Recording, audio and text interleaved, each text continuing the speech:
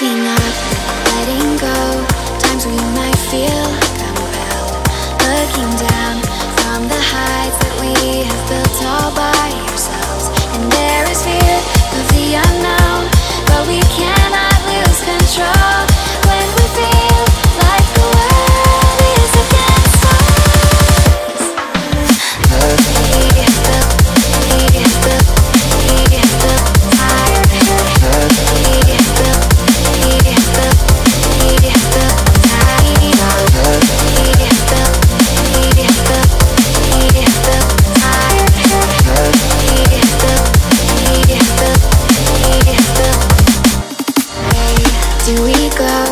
is a question to ask. There are so many choices that it's hard not to pass.